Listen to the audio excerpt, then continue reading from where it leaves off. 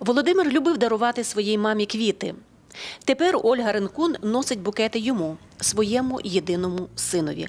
Зараз він дивиться на свою маму з фотографії, яка поруч з його побратимами розміщена на алеї героїв АТО в Ірпені.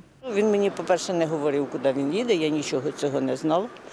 Він мені просто сказав: мама, ну поки я пішов. Її Володя загинув 29 серпня 2014 року під Іловайськом. У шості роковини трагедії ірпінці прийшли на алею героїв АТО, щоб разом провести вечір спомин, присвячений Дню пам'яті захисників України, які віддали життя за незалежність, суверенітет і територіальну цілісність держави. Серед них 17 бійців з Приірпіння. Хочеться в цей день низько вклонитися, вклонитися хлопцям, які загинули, подякувати тим хлопцям, які зараз воюють і воювали.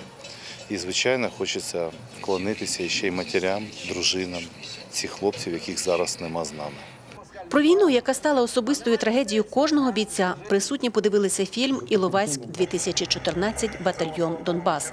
У багатьох ветеранів він викликав хвилю тривожних спогадів про пережите. А Взагалі про такі ось події, як згадувати, дуже тяжко. Ось і згадуючи тих побратимів, яких на превеликий жаль зараз з нами нема, це теж дуже тяжко. Я розумію, що таке хвилина мовчання і чому вона. Мовчання це тоді, коли ти згадуєш своїх побратимів, тебе просто немає слів. Ось ми організували такий захід, запросили людей, запросили рідних загиблих героїв, запросили ветеранів АТО, позгадувати те, що було, поговорити, підтримати один одного, підтримати тих, хто не дочекався своїх близьких. Цього вечора ірпінці згадали усіх своїх полеглих земляків. В ім'я кожного з них у небо запустили 17 куль із символічними вогниками пам'яті.